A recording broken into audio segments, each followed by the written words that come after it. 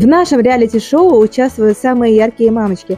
Одна из них – блогер, актриса, певица Женя Малахова. Многим она знакома как участница известной группы «Рефлекс». Всем привет, меня зовут Малахова Женя. Совсем недавно я стала мамой во второй раз, и буквально за несколько недель до моих родов меня пригласили в информационное образовательное реалити-шоу моей подруги Лизы Арзамасовой, которое называется «Соберись в роддом».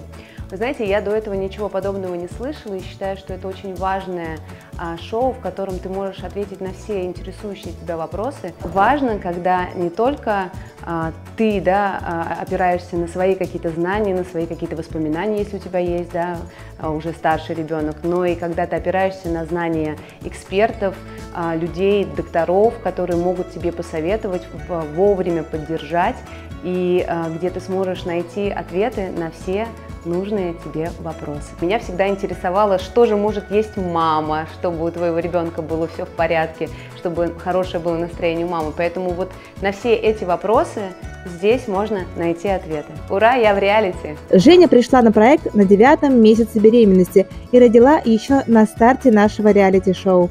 Но несмотря на будни с новорожденным малышом, она ведет активную жизнь и успевает участвовать в разных мероприятиях нашего реалити – Видимо, помогает опыт, ведь Женя дважды мама.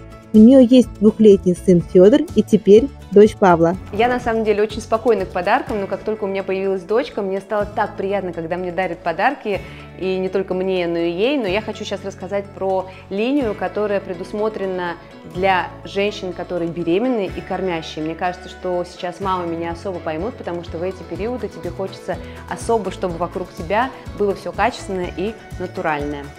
Женя уже получила и оценила первые подарки от реалити-шоу «Соберись в роддом» с Лизой Арзамасовой. Их на проекте, кстати, очень много. Как для мам, так и для малышей. Так, ну что, теперь пошли подарки для малышки. Подгузники, салфетки, пеленки. Девочки, ну все есть, теперь и у вас должно быть такое.